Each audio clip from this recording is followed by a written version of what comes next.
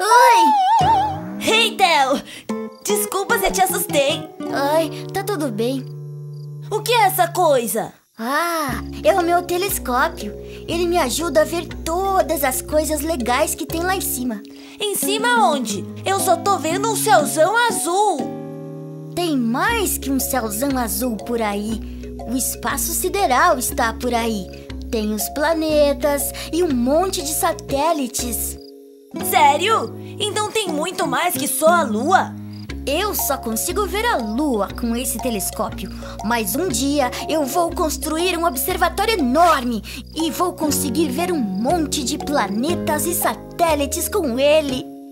Uau! Imagina só se um dia eu, você, a Kate e a Mimi fôssemos lá para o espaço. Nós achamos um satélite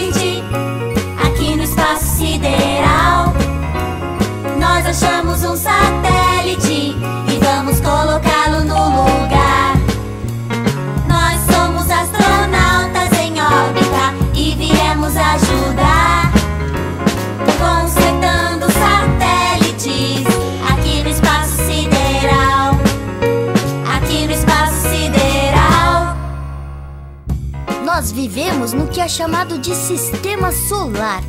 Esse planeta aqui somos nós. Nossa casa é a Terra.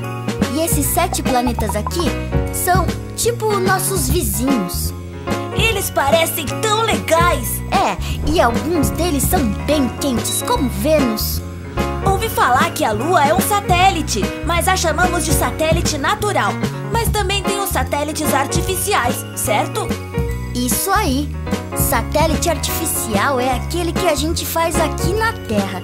Eles são máquinas que flutuam lá no espaço sideral, voando em volta da Terra igual a Lua.